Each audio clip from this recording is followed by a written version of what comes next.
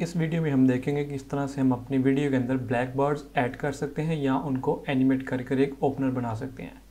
तो हम effect tool में जाएँगे, यहाँ पर सर्च करेंगे क्रॉप, और इसको हम ड्रैग करके ड्रॉप करेंगे अपने क्लिप के ऊपर। इफ़ेक्ट कंट्रोल में इसकी सेटिंग आ जाएगी। वहाँ पर इसको टॉप से टेन परसेंट और बॉटम से भी टेन परसेंट कर लेते हैं। तो इस तरह से आप अपनी वीडियो में सिनेमैटिक बार्स को यूज़ कर सकते हैं। और अगर आप इसको एनिमेट करना चाहते हैं तो उसके लिए आप इनमें कुछ की फ्रेम्स ऐड करें। फ़र्स्ट ऑफ़ ऑल मैं आपको करके दिखाता हूँ। बिल्कुल स्टार्ट से हम यहाँ पर एक की फ्रेम लेते हैं टॉप से और एक बॉटम से। और हम इसको 50 परसेंट टॉप से क्रॉप करते हैं और 50 परसेंट बॉटम से।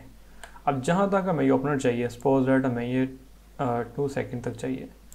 तो दो सेकंड के बाद हम ये पैरामीटर्स को रीसेट कर देते हैं। इस तरह से आप ऐड कर सकते हैं अपनी किसी भी वीडियो के अंदर ब्लैक बार्स अगर आप चाहते हैं कि आपकी वीडियो के अंदर यहाँ तक ये ब्लैक बार स्टे करें तो उसका मैं आपको तरीका कर बताता हूँ। इन लास्ट टू की फ्रेम्स को मैं भी डिलीट कर देता हूँ।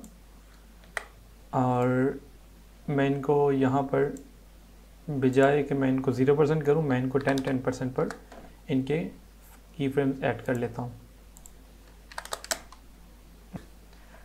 जैसे ये प्ले होगी, उन टेन परसेंट पर आकर ये स्टिल रुक जाएगी। आप इस बेसिक एनिमेशन के साथ इस वीडियो को इस तरह से क्रिएटिव कर सकते हैं।